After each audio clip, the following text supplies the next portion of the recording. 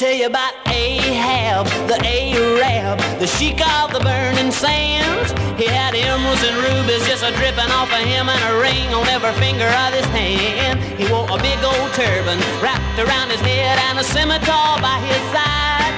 And every evening about midnight he'd jump on his camel named Clyde and ride silently through the night to the Sultan's tent where he would secretly meet up with Fatima of the Seven Veils, the swingin'est number one dancer in the Sultan's whole harem. Cause like him and her had a thing going, you know, and they've been carrying on for some time now behind the Sultan's back. And you could hear him talk to his camel as he rode out across the dunes. His voice would cut through the still night desert air, and he'd say,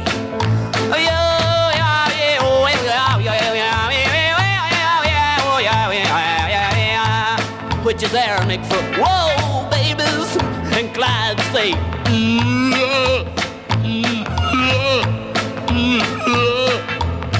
well, he brought his camel to a screeching halt in the rear of Fatima's tent.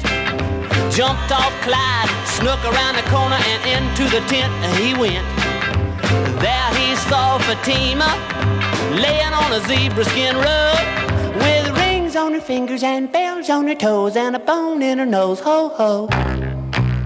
There she was, friends and neighbors, in all her radiant beauty, eating on a raisin and a grape and an apricot and a pomegranate and a bowl of chitterlings, two bananas, three candy bars, and sipping on a pistachio milkshake, listening to her transistor, watching the Grand Ole Opry, and reading up on the magazine while she sung, Does your chewing gum lose its flavor?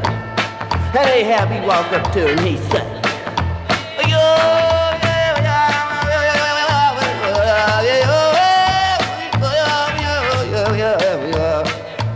is Arabic for Let's twist again like we did last summer, babies.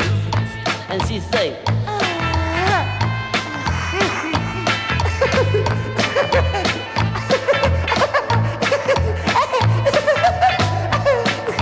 Crazy, baby.